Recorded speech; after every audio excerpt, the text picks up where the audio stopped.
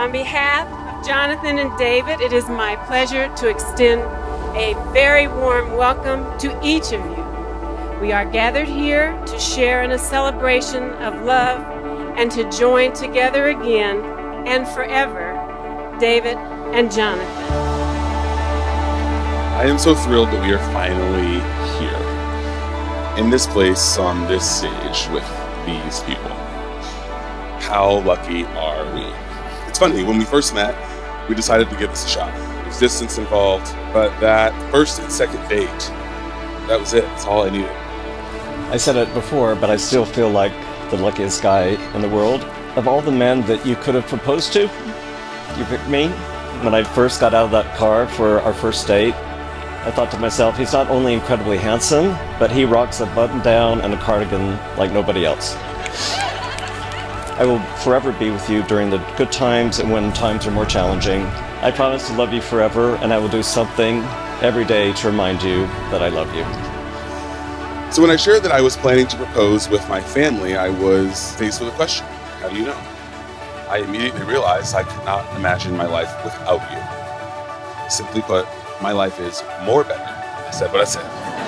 and complete with you in it. I will love and cherish you. I will always respect you. And I'll continue to run after as many taxes as I can when you lose your phone. So, to answer my own question, we are of the luckiest guys in the world. But it's more than luck, it's purpose. And you are my purpose.